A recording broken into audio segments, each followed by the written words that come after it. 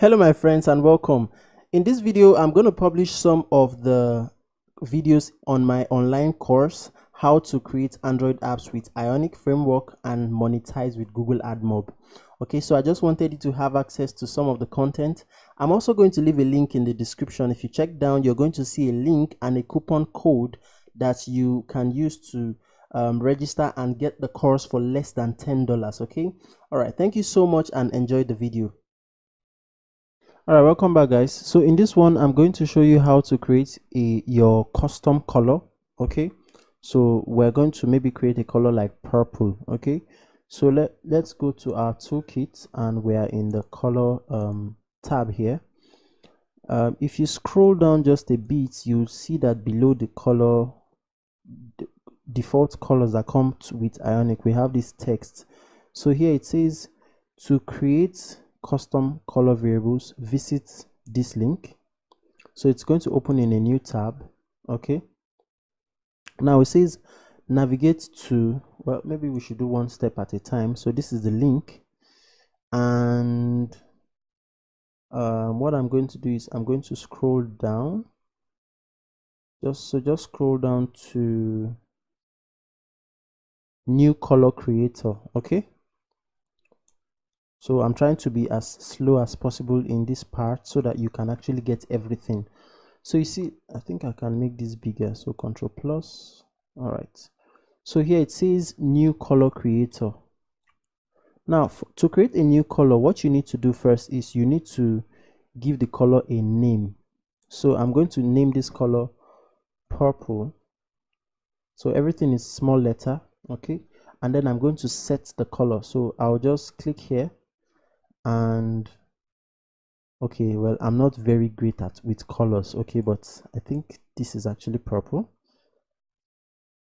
All right so this is fine okay for the purpose of this um, tutorial um for the purpose of this video sorry. So when you create when you select your color so like what i did i just clicked on this guy here and i you know set my color. So you can just drag your color here and then set the shade of the color right now what you need to do is you need to copy these um, pieces of code or these pieces of text okay? This is actually um, css okay? So but let me show you how you're going to do that. So i'll go back to my toolkit and first off you need to navigate to so go in your app folder and then you need to go to the source and then themes and then variables.scss okay. So let's bring up the our code editor. Okay. And I'll open my file explorer. And let me just you know shrink everything. So this is the app folder my first app. And then source I'll click on it. And then I'm not interested in this. I'm interested in themes. Okay that's what we said we want to do here. So app folder source themes and variable.scss so um, themes. So i'll click on themes and then you see that we have variable.scss inside of themes okay?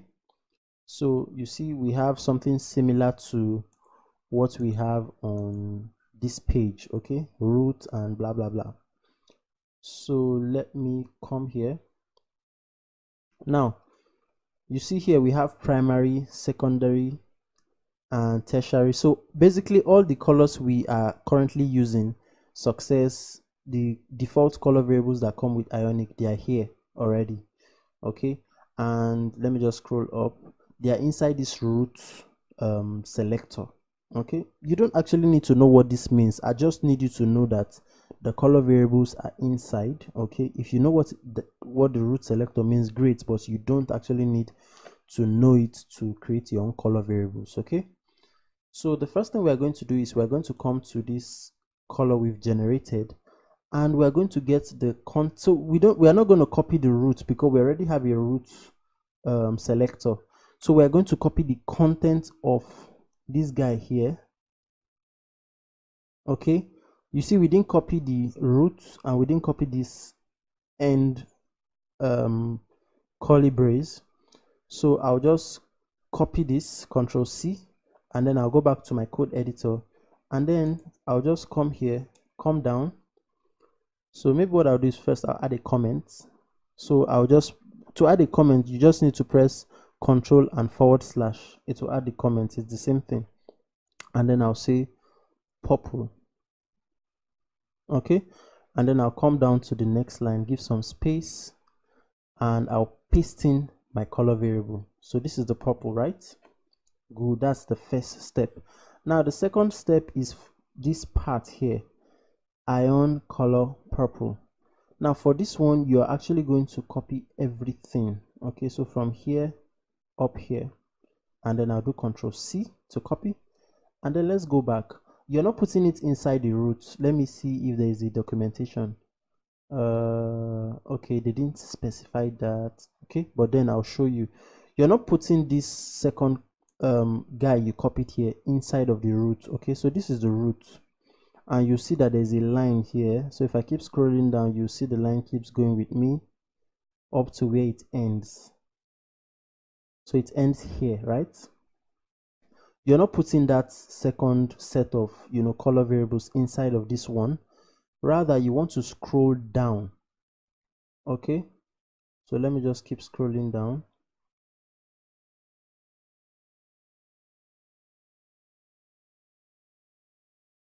Okay just a minute. Let me be sure of where I want to paste it. All right so you are going to paste it just after the closing um, curly brace here. Okay so let me just go up um, to to control z control z z. Okay so let me just repeat that. And so this is the root tag here root selector here. I'll click on it and you see that there's a line that goes down to the end of the root selector. Okay so when you get to the end of the root selector, come to the next line and paste in the second set of um, variables you copied, okay? And then save. Okay, that's all you need to do. Now let's go back to our home page and let's go ahead and minimize this guy here. So this is our app. And what are we going to change? Let's change this first one that says color primary let's change it to the purple variable so I'll come and I'll locate the icon so this is the icon so we have home here just below the icon. And I'll change the color here to purple. So p-u-r-p-l-e and then I'll save. So let's see what happens.